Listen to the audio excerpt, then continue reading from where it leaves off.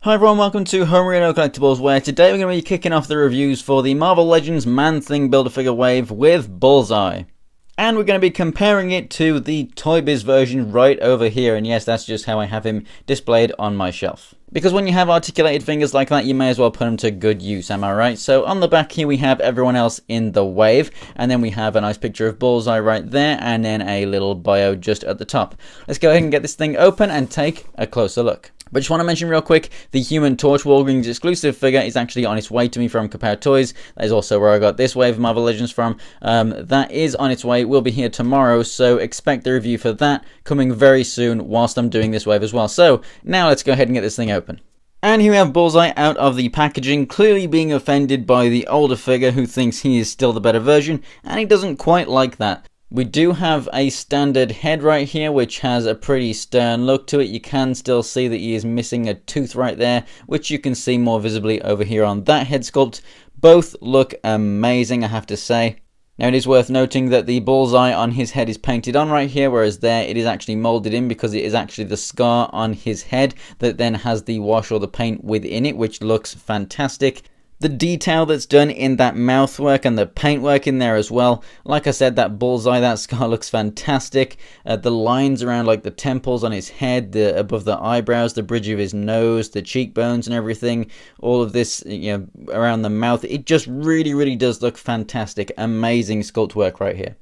And here's a close-up look of the other head as well, looking fantastic, but obviously much, much less detail on this thing than over here. I really, really do love this head. I do prefer him with the full suit on like this, but this just steals the show for me.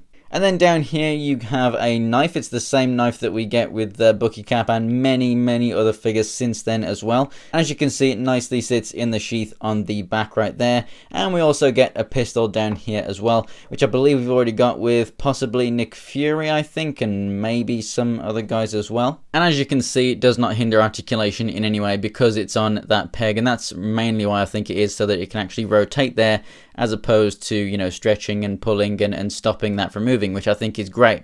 In terms of the hands, so we have a right hand over here that can hold either the knife or the gun. And then we have likewise for the other side as well. This hand is definitely my second favorite. Uh, it's basically, you know, a pretend gun, essentially pointing at someone, marking them for death. Pretty much, this is fantastic. But then this thing steals the show in, as far as the hands go. Yes, we do have some uh, marks on there from paint, but this is really, really great. The clear plastic here, you can obviously barely see it. It works really, really well. And just having those throwing knives there, I mean, they look fantastic. They're done really nicely themselves. Nothing is warped or anything. It just looks fantastic and definitely looks like he's just thrown them. Very dynamic and definitely the kind of accessory that I have been waiting for from Legends for a long, long time. So straightening the figures out, they both actually stand at about six and a half inches tall. They are the same height as each other. Uh, in terms of the bodies, over here we have, um, it's a very, very dark blue. It isn't black. It is extremely dark blue. It looks black black in low light. Uh, here with my intense lights on, I can tell it's blue. I'm not sure how it's going to look out on camera, but it, it is basically a very, very dark blue, almost black. Over here, what we have is black with blue uh, sprayed over the top, essentially. Now, for the part around the neck, this has always annoyed me. Uh, it's essentially another piece that's pretty much glued on top, and it's very sloppy, it's never straight, and the black paintwork on it is pretty terrible as well. And then coming over here, honestly, they haven't done much of a better job. Both of them do actually have a butterfly joint, but because the paint goes onto the butterfly joint, it does break that paintwork up. Here, because it's a separate piece underneath it, that obviously doesn't change. So in terms of articulation and how it looks when it's posed, this guy is better in different poses than this guy. And the paintwork over here is sloppy, as you can see. It doesn't have a very sharp edge right there. On the back, it does look kind of weird when you do start moving those arms around and they're at different positions. Neither of them look really, really bad, but neither of them are perfect either. Now, in terms of articulation, they pretty much have essentially the same articulation. This guy has more points because he has the articulated fingers. He has different jointed legs, but they can get pretty much in the same poses. He does have articulated toes down here, but you can't really use it for all that much.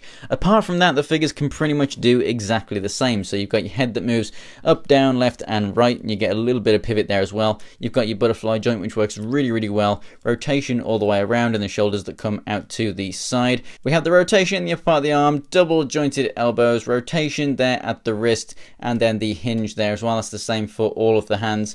And then over here we have a really good ab crunch and then we have the waist twist as well which is covered by the belt but you can move that around if you want to get more twist.